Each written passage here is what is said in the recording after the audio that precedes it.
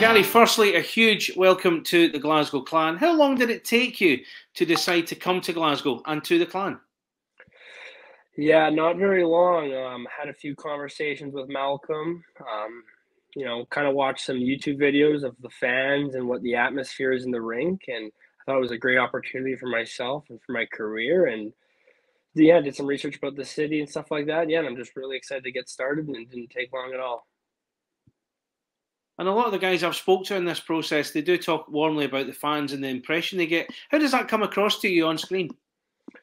It comes across as they're very energetic, they're very into the game, and then you watch them like the uh, the vlogs they do of like they travel very well and they're singing and they're they're loud and that's just I think that's just awesome to be a part of, especially for my very first pro experience. I think you know having great fans is always great to have.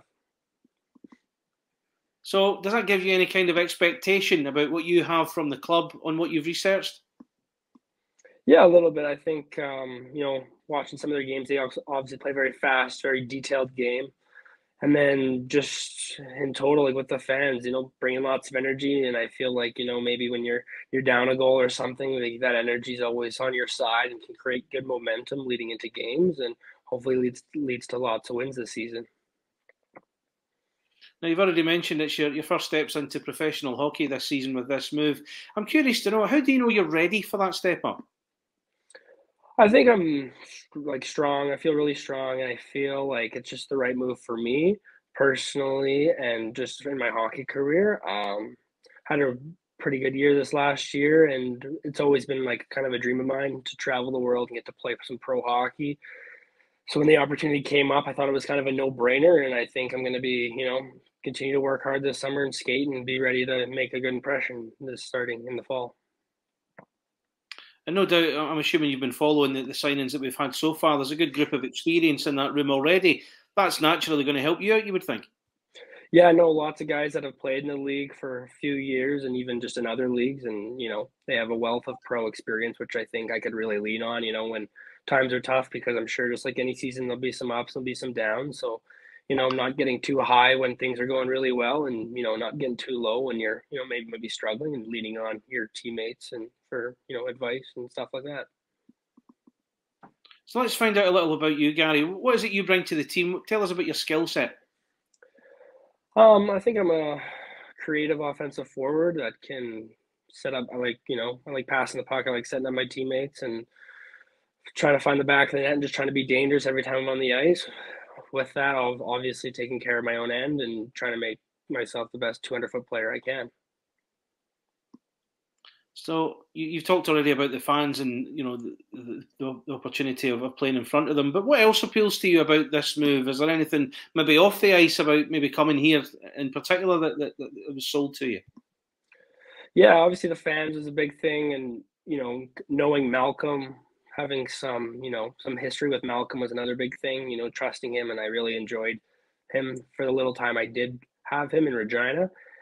And I don't know, just like, just seen Scotland. I never, never been to Europe before in my life. And that seemed pretty good. And then you got all the history and how old it is. I think I'm a kind of a history nerd myself. So I think that's pretty cool and all that stuff. And be able to go sightsee, you know, on the days off and stuff like that. So it was, it was multiple things that led to the decision. Good. So let's find out a little bit more about you. Who have been the biggest influences and your heroes in your career? And I don't mean just family as well, but even players you looked up to as you were coming through in college. Players I looked up to would definitely be like Patrick Kane growing up with his hair. I used to have a mullet just because I wanted to mimic his hair and the way he played. And I've obviously I was fortunate enough to, you know, witness those three Stanley Cups they won. It's probably him in the professional world and obviously like my dad he's always been pushing me since day one. He's been helping me. You know, some days you love him, and some days you know we would butt heads, but he he was doing it for the better, and it's obviously worked out. I'm just very thankful for everything he's done for me.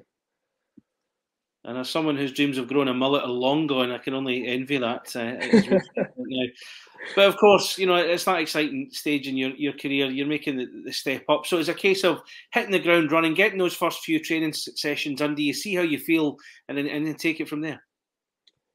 Yeah, I've been pretty fortunate. I've been kind of in the gym for almost a month and a half now because of our my season at school ended the first week of April, so I took a little bit of time off there to kind of recharge and I want to have a great start to the season, so I wanted to get started as soon as I could. And yeah, I've been kind of slowly getting on the ice here as well, and I just want to come over and yeah, like like you said, those first kind of week a bit week and a bit of training camp, I want to hit the ground running. I want to be able to show show Malcolm what I can do, and hopefully score some goals and win some games.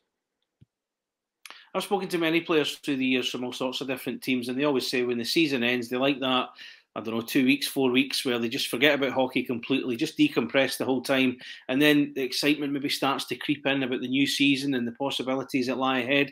Where are you in that kind of spectrum, Gary? Where, where are you sitting right now as we look a, a couple of months away from the season?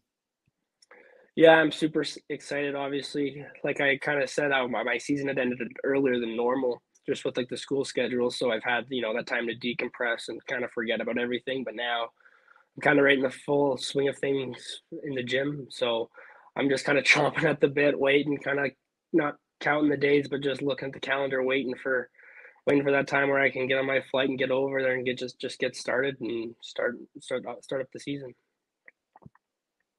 So, what is it you're looking to achieve in, in Scotland and in the Elite League this year? And I'll, I'll, caveat that by saying you're not allowed to say win trophies. Um, that's the bog standard answer, so I've banned that. So, what is it you do want to do next year? I obviously just want to hit the ground running. You know, have a great first pro season, learn when, learn everything I can, kind of be a sponge. Obviously, there's going to be, like I said, ups and downs, and I'm I'm excited to take on that challenge head on. And obviously, winning is always fun and makes everything better. So if we can win some games, and you know, hopefully take down a championship, that would also be awesome. But you know, looking for a great first experience and trying to make a great impression and go from there, and just have hopefully it's the start to a, hopefully a longer pro career.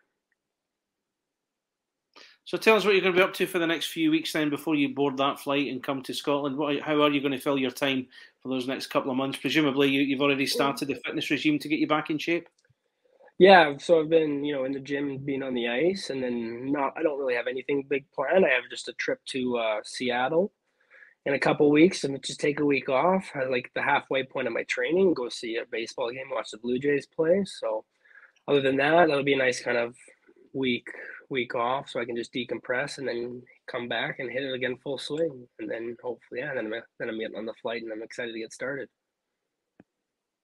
And the last one I always finish with it's a chance for you to directly um, speak to the, the Purple Army. The fans will be watching, they'll be getting to know you uh, as we speak, Gary. What would you like to say to them and those guys that are watching? I'm just really excited to play in front of you and get to know you guys. And um, yeah, you guys are a big part in the reason I decided to come to Scotland, obviously, and um, yeah, just can't wait to get the season started and can't wait to play in front of the Purple Army and get to experience what it's like.